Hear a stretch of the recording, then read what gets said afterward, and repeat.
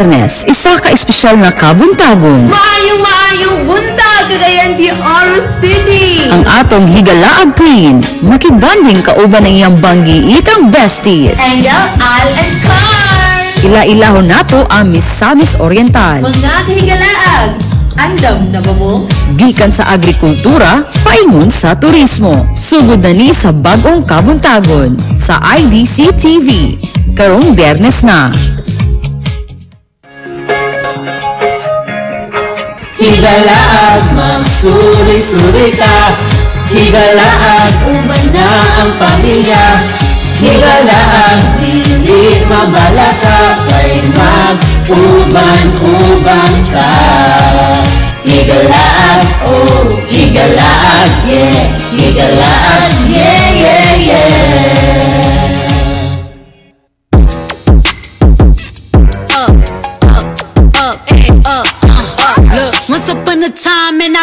I was ugly.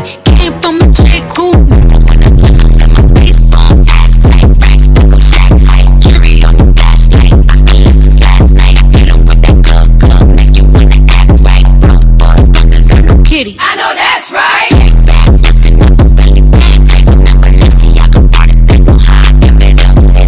back, bustin' up a belly bag,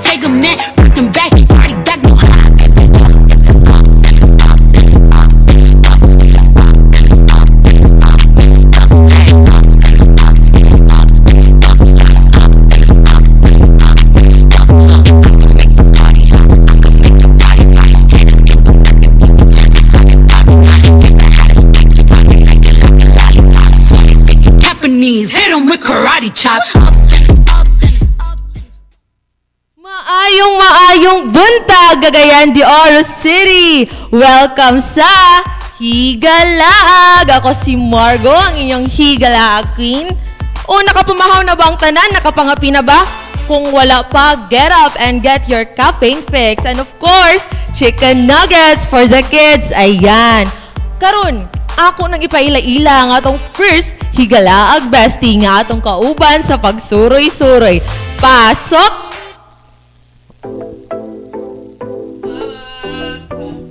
Hi! Kumay. Lingkuri, lungkiri, lingkuri, lingkuri. Oh. So, Engel, kumusta man ang atong pagsuroy-suroy sa dakbayan?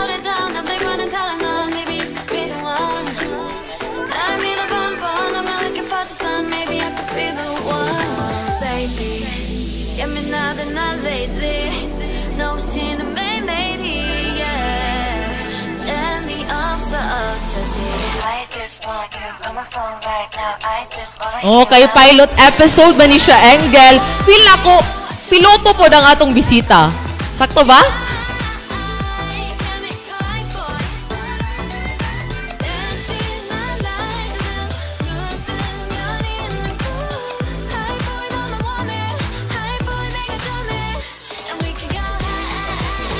ay pak na misled di ay ko.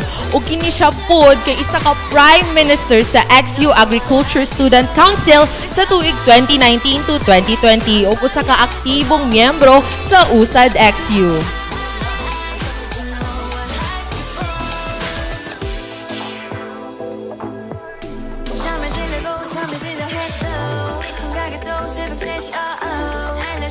Banggiitan gayud, Engel. So walay pagduha-duha. Atong i-welcome ang atong first ever guest sa Higalaag. Atong bation si Danny Jeff Porras. Hello, Hello! Hello, maayong Ag!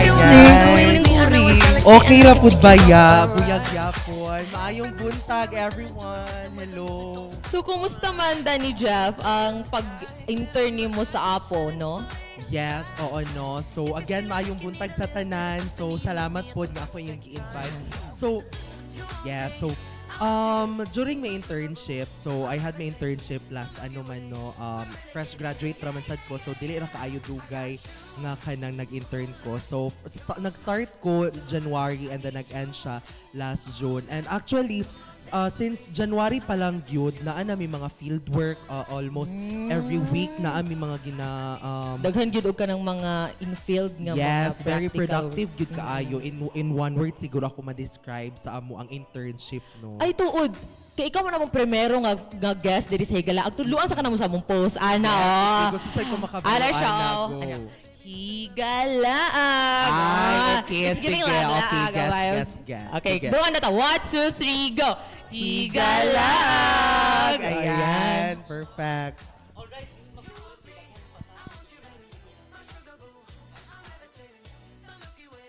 Agri-laag.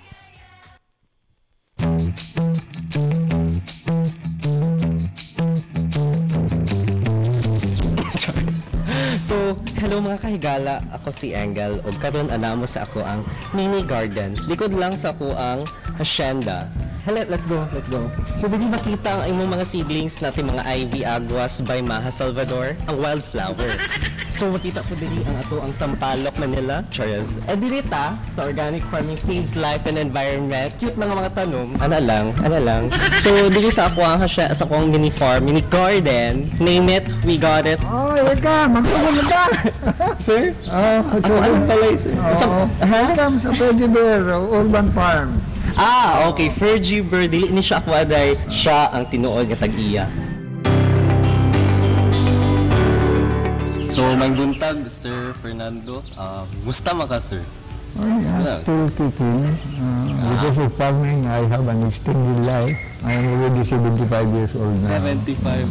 Um, unsa ang pasabot sa urban integrated farm? Yung Hiskutag Urban, diyan na sa mga lugar na meron nga kabalayan. Pero mahimong giabutan ng farm, sa, sa kagamay sa atong lugar. Nangkag integrated ng langkod na tanan. Kaya naandad na to sa mag-uuma, nang humay-humay lang. Ang uman, mais-mais lang. Yun imo makita tanan. Makita ka tanan. So, nag-advocate kami karon o bagong agriculture model.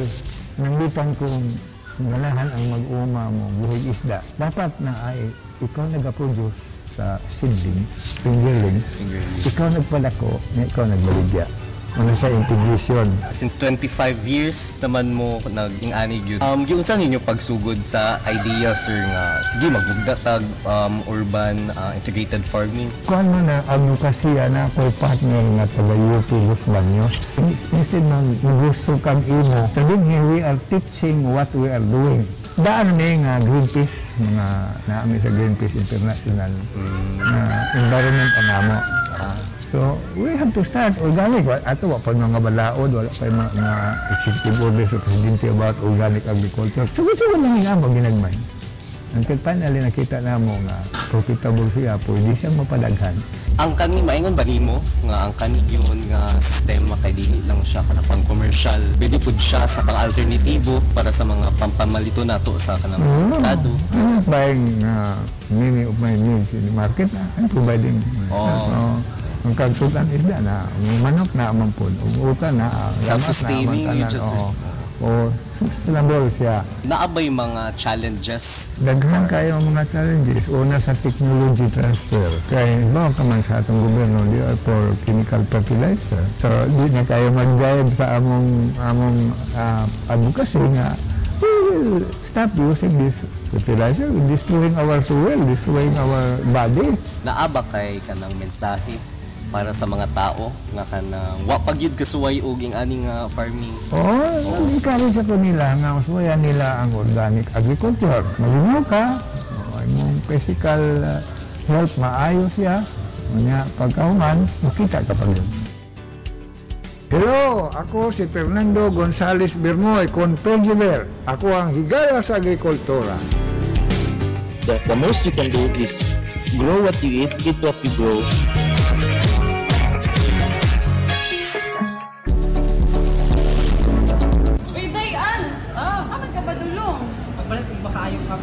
Ko naman magsira naman ko ng pharmacy. Kasi na sa usay makaayon kapsul. Tambal, gulo ko nulo dong gani mama sa radyo. Bigtibo lagi daw ko no.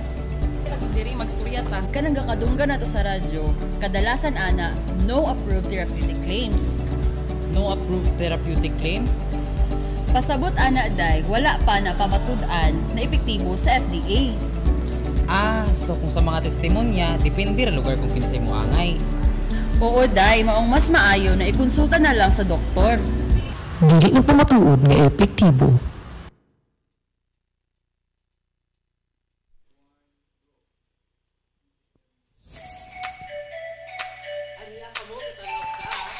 Higalaag! Alright. Kauban ka.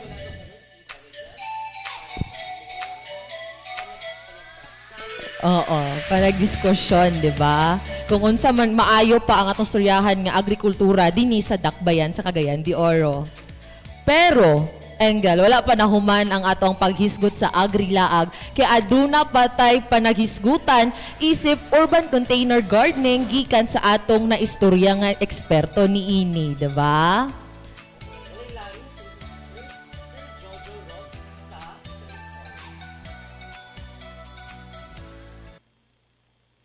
Mga higalaag. do not make gardening as a business.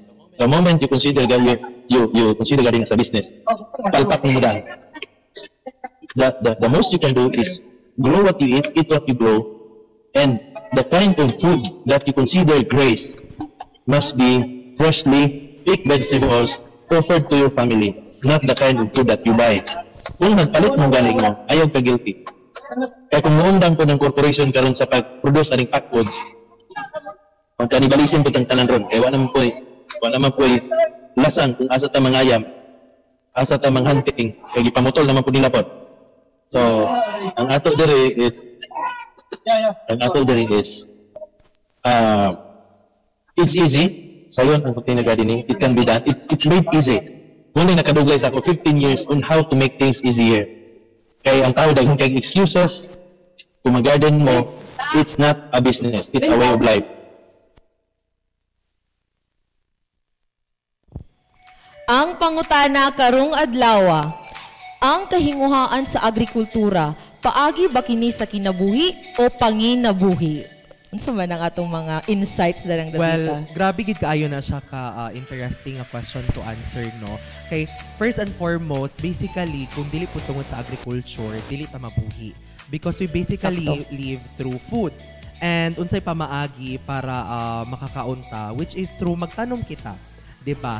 So kana siya nga it's not just a way uh, of life. Also muna karon nga kailangan ta mag uh, mag-produce og daghan. So kinahanglan gyapon nato uh, magbaligya para daghan gyapon uh, maka-benefit nga lain. That's why um katupod nga gi-introduce ganiha nga naatay mga urban container gardening nga mga inana kay para pod ma-introduce sa atong mga panimalay ang concept nga maka-produce na sila sa ilahang own nga mga pagkaon. Oo, kanang inana siya nga idea ba. Lagi. Oo. Yes. Oh, labi nagmakatuon pero dili po nato makuan ba mawala sa tong utok ba nga napoy mga issue karon nga dili ga katagaan og alokasyon sa budget ang atong mga mag-uuma, Mm, di ba? Yes, sakto gid ka na nga siya. imbes nga dili ta kailangan nga mamili sa duha pero we can do it both man labi na og kanang matagaan gyud sila og pagtagad. Mm, sakto gid kaayon. Alabi na nga ah, ang atong mga farmers gyud ang gapanguna nga mahatagan ta og pagkaon para sa atong mga Lagi unsaon na lang og wala sila, di ba? Yes, correct. Society. yes, Oh, sakto. yan. Saludo po sa aming mga farmers dyan, di ba? So, Danny Jeff, balita po namo nga namoy programa sa Apo nga ginganlan og baka program. Pwede ba nimo ma-share Yes, sa atong oo. mga kahigalaag kung unsa ni? Mm-mm.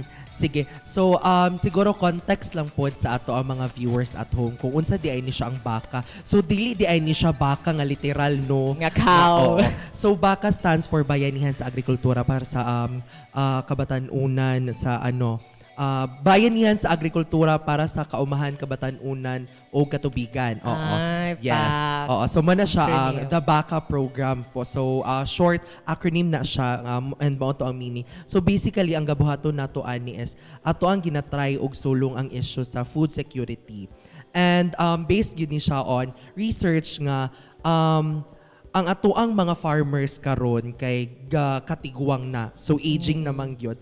And kinsa may lain nga mga tawo nga magpadayon nga mag-produce og pagkaon para sa atoa kung dili kita mga kabatan-unan ang ang youth. So mao na siya nga naay programa para mangita og mga future um um, uh, youth agricultural advocates nato. So mo na siya basically nga gina-train nato sila para mahimong um, agripreneurs and makaproduce and makasustain sa ilahang own um, nga agricultural products. Ah, di ba? Lagi.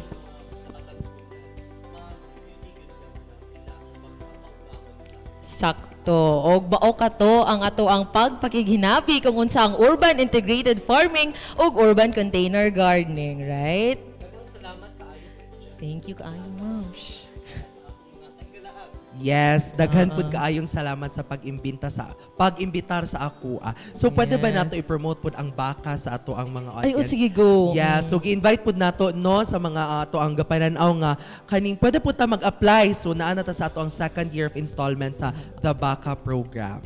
Okay, sigurado gyud ko nga daghan jud sa atong mga kahigalaag ang mga naa sila natun-an karong adlaw, ah, di ba, Engel?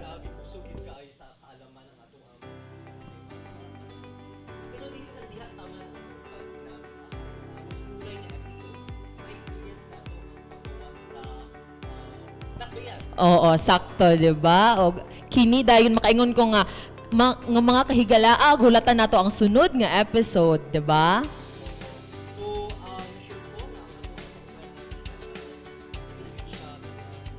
Dili known, oh, di ba? Oh. Clue, iyang, iyang ngalan, higalaag, bestie, kay na ay letter A o L. Oh, lagi. Ha? Harurot. Alright, let's go. Maora kini og